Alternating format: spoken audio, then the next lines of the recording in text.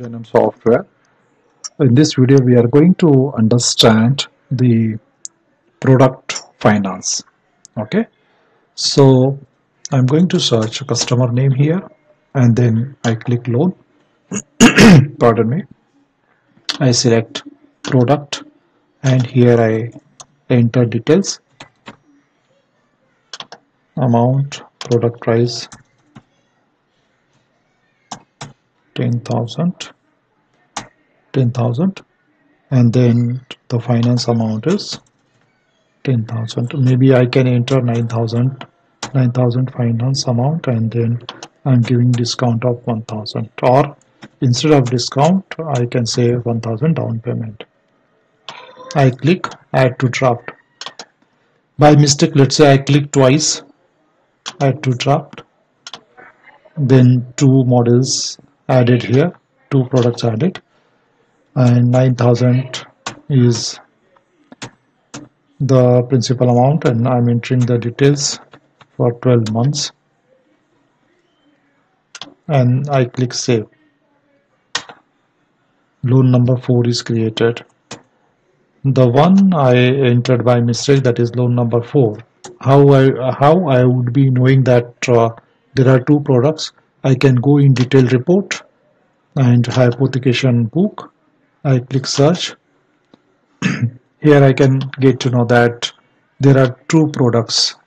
Okay? So what I can do I can click on this loan account. I click product loan. And then I just scroll down and I get to know two products there. I delete the second one. Okay? Now this is deleted. Uh, I just need to click here once and then this product is removed. Okay? I go back to detailed report hypothecation book and click here. Now here it will show as one product. So this is how you can manage the product loan creation in Genom software.